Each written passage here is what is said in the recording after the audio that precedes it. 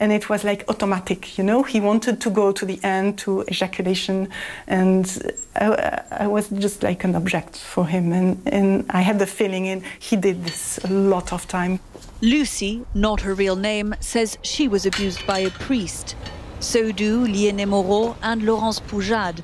None of their alleged abusers have ever faced trial. This is the story of the Broken Women of St. John. The Order of the Contemplative Sisters of St. John was founded here at Saint Jodard by Father Marie Dominique Philippe, who preached for the physical expression of affection. It was long after his death that the order recognized that he'd been guilty of sexual abuse. But for years, there were rumors about other priests and other victims within the order. Lucy was 18 years old and preparing to become an oblate, a layperson consecrated within the church, when she says the abuse began. You, you can be 18 or 16 or 20. You, when, you, when you have not experienced sexuality and you have suddenly in front of you the sex of a man, it's just a shock. It took Lucy 15 years to be able to talk about it. She then says the church wouldn't listen. In the criminal courts, the statute of limitations had expired. The Vatican now says it is investigating allegations made by several women against Lucy's alleged abuser. He was removed from the community 10 years ago, but even now, it is the strength of her faith that makes it so hard to take in. He's a priest, he's a father, he's near God, he's like God, he's, the Christ is living in him.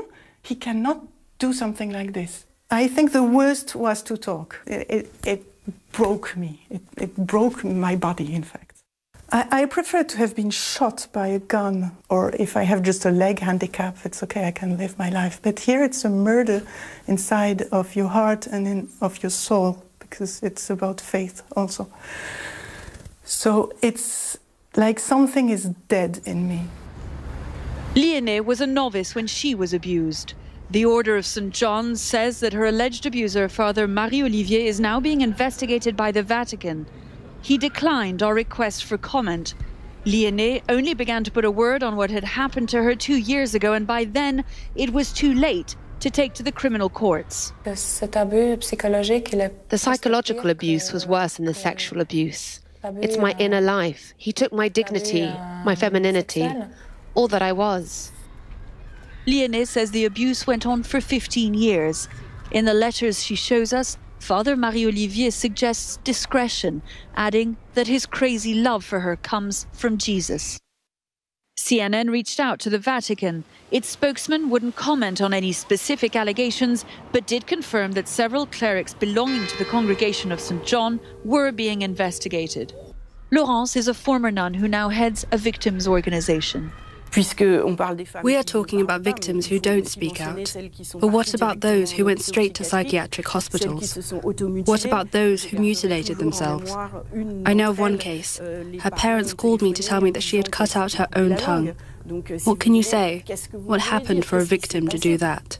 Not all of the abuse took place here, but the order says that over the course of the last 45 years, five priests have been found guilty of sexual abuse in civil courts, with three under investigation. Furthermore, two priests have been found guilty of abuse in church courts.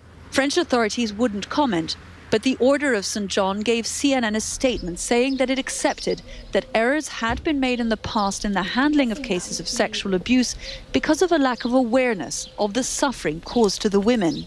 We did just try and ring the bell here at the Order of St. John, but no one would speak to us on camera. What matters, though, now is that the Order has recognised that there are victims other than those of the founder. Now, that acknowledgement came just after Pope Francis had lifted the lid on what he called sexual slavery within the Order of St. John. So, what did the Pope's words mean for the victims? Well, it was like a bomb.